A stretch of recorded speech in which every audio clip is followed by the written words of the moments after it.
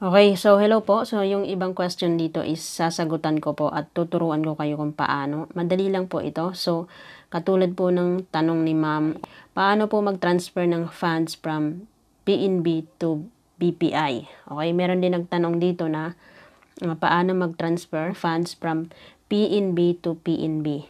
Okay, so ang gagawin lang po natin is i-click lang natin tong transfer funds.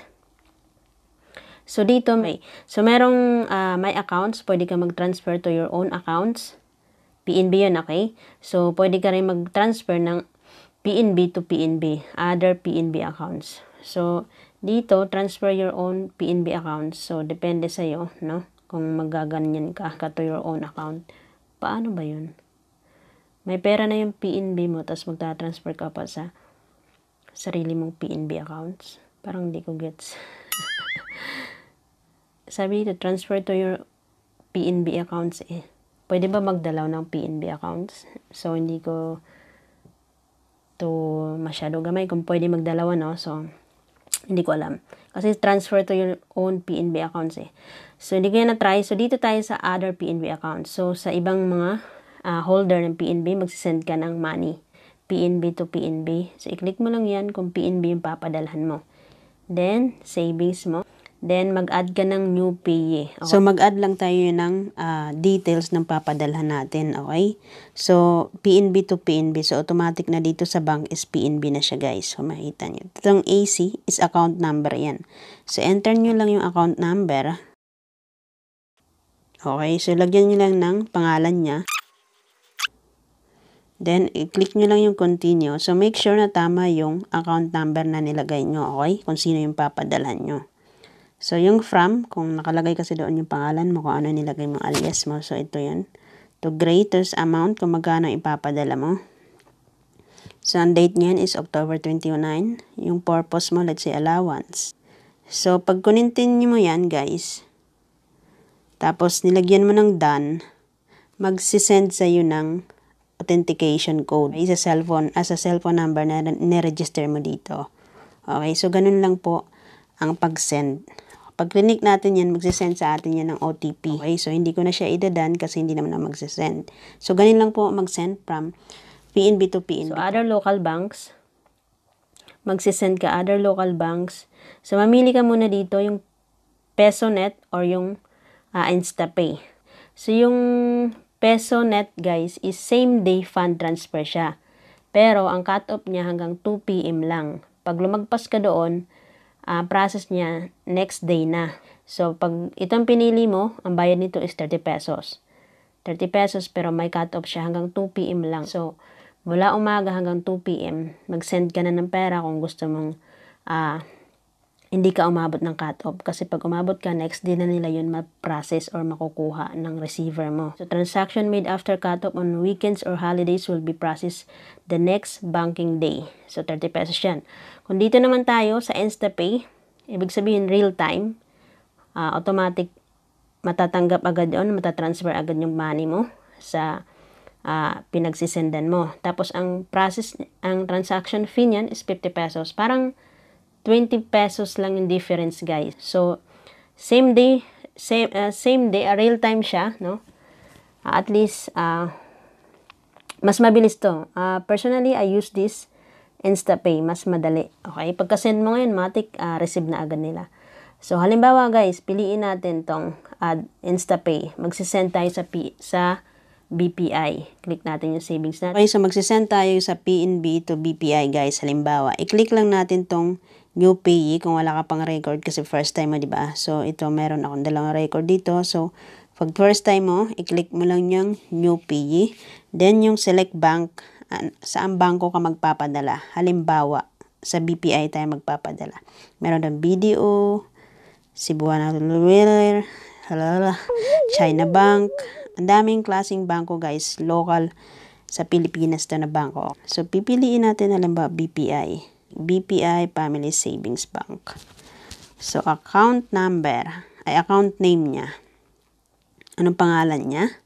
Dapat match po, okay? match should match account name in receiving bank. AC, account number niya. Lagay mo dyan, dapat correct. Tapos yung address. Okay? Then yung alias niya, anong pangalan niya. Ganon. So on and so forth. Then continue mo. Tapos, katulad kanina, sa PNB to PNB, ilalagay mo din yung amount. Tapos yung purpose. Let's say allowance, emergency, savings, etc. So, pag clinic mo yun done, magsisend na naman sa'yo ng code. OTP tawag doon. Tapos, pag in-enter mo yung 6-digit uh, ata yun, then, pag na-enter mo 6 digit, automatic magsisend na ng funds yun guys. Balik tayo at magsisend ako ngayon para makita nyo kung paano. Other local banks, InstaPay means real time to magta-transfer. So 50 pesos yung charge niyan. So ang gagawin natin, uh, ah, PNB to BPI naman. Okay? Ay, naka, may record na kasi siya. So ilalagay ko lang yung amount.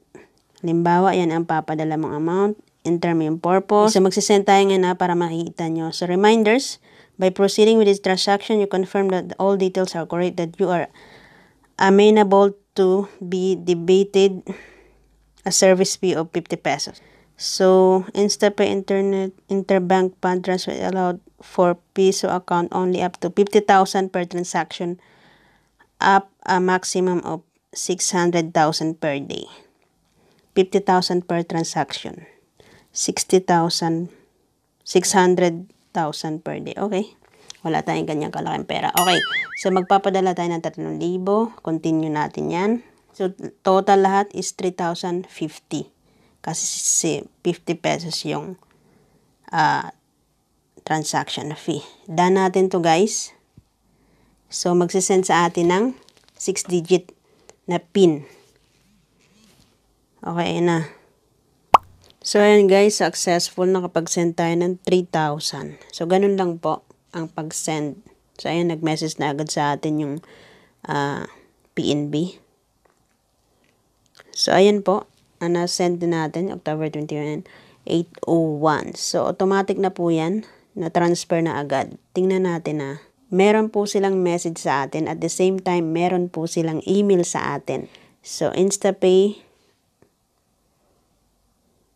Ayan, BPI account to BPI Family Savings. So, successful po siya. Ito natin transaction natin dito guys. Click yung transaction receive para makita nyo. So, ito yung transfer natin ngayon. So, ganun lang guys kadali mag-send ng uh, pera PNB to BPI or any other local banks or PNB to PNB. So, meron questions dito si Ma'am Stacy. So, how can I remove registered device? Nawala daw yung cellphone niya. Lost my phone, got a new one, and I can't register. So, mas maganda po i-contact niyo yung support. Mas maigim pumunta po kayo sa branch of account or tawagan niyo po yung PNB customer care. Yung number po na nakita nyo dyan sa baba, yan po ang number ng PNB Customer Care. Tawagan nyo po sila, sila para mag-request for a removal of registered device in PNB Mobile Banking. So, i-remove nila yun.